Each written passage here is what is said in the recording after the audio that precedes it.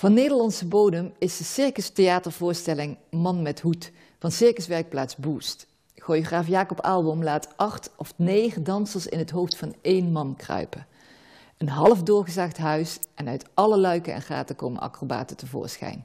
Mooie aanrader voor de hele familie.